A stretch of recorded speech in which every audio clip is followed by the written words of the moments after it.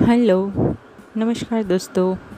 Welcome back to my channel दोस्तों, मैं हूँ उषा एंड मैं स्वागत करती हूँ आप सभी का मेरे इस यूट्यूब चैनल पे। दोस्तों, आज का वीडियो बहुत ही मज़ेदार है। तो वीडियो में आप अंत तक बने रहिए। आई होप कि आप कैसे जो भी डाउट्स होंगे, वो सारे इस वीडियो में क्लियर हो जाएँगे। तो दोस्तों, वीडियो को अंत तक ज़रूर देखिए और अच्छा लगता है तो लाइक और शेयर कर दीजिएगा दोस्तों। तो चलिए दोस्तों, वीडियो को फटाफट स्टार्ट कर लेते हैं।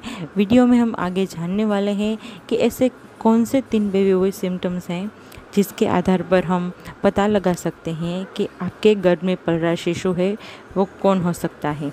एक बेबी बॉय या बेबी गर्ल दोस्तों, वैसे तो हमारे इंडिया में लिंग परीक्षण करवाना एक कानूनी अपराध माना गया है तो हमें इस झंझट में नहीं पड़ना चाहिए। लड़का लड़की दोनों को एक जैसा ही मानना चाहिए, दोनों को समान प्यार और अधिकार दोनों देना चाहिए दोस्तों। तो दोस्तों, मेरा वीडियो बनाने का उद्देश्य ऐसा कुछ भी नहीं है कि आप लड़का लड़की में भेदभाव करें या फिर मेरा चैनल ऐसा कुछ भी नहीं सिखाता है। तो आप वीडियो को एंटरटेनमेंट के तौर पर ही आप देखा कीजिए। ठीक है दोस्तों? चलिए वीडियो को फटाफट स्टार्ट कर लेते हैं। तो दोस्तों पुराने ज़माने में जब ये अस्पताली सुविधाएँ नहीं थी ना, तभी क्या होता था कि हमारी जो बड़ी बुज़ुर्ग महिलाएँ हैं, जो एक्सपीरियंस लेडी है, वो ऐसे ही महिला के चाल ढाल के ऊपर से, उसके खाने की पसंद, नापसंद के ऊपर से बता देती थी कि उसको क्या होने वाला है दोस्तों। तो आगे हम वही तीन सिम्टम्स के बारे में बात करेंगे। तो दोस्तों, पहला सिम्टम ऐसा है कि अगर आपको प्रेगनेंसी के दौरान बहुत ही चटपटा, तीखा और मसाले वाला खाना अगर पसंद आ रहा है ना तो माना जाता है कि आपको एक बेबी बॉय होने वाला है। वहीं सामने दोस्तों, दूसरा सिम्टम ये बताया जाता है कि अगर आपको प्रेगनेंसी के दौरान आपके सिर में अगर बहुत ही ज़्यादा दर्द हो रहा है थ्रू आउट प्रेगनेंसी आपको बहुत ही ज़्यादा दर्द हो रहा है ना तो आपको डॉक्टर को कंसर्न करना चाहिए। लेकिन हल्का हल्का अगर दर्द बना रहता है पूरी प्रेगनेंसी में तो माना जाता है कि आपको एक बेबी बॉय होने वाला है।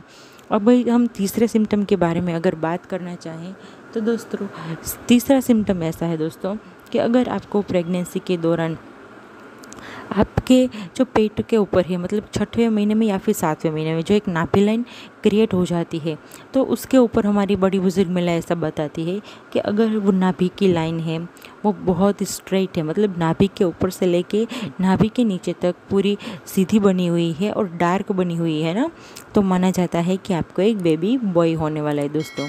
और वहाँ सामने वो लाइन है, अगर आड़ी टेढ़ी है है ना? ऊपर से सीधी है, लेकिन नीचे जाके वो आड़ी टेढ़ी हो रही है और हल्की हल्की है। तो माना जाता है कि आपको एक बेबी गर्ल होने वाली है, दोस्तों। तो दोस्तों, ये तो तीन सिम्टम्स है ना, वो बहुत ही सटीक माने जाते हैं। साथ ही में मुझे खुद की प्रेगनेंसी में भी ये तीन सिम्टम है, वो दिखाई दिए थे। मुझे एक दो साल का बच्चा है दोस्तों तो वही प्रेगनेंसी का जो एक्सपीरियंस है, मैं आपके साथ शेयर कर रही हूँ। बाकी लड़का लड़के में कोई भेदभाव नहीं करना चाहिए, है ना? ये तो भगवान का आशीर्वाद है, ये पूरे दिल से स्वीकार करके बहुत ही खुश रहना चाहिए।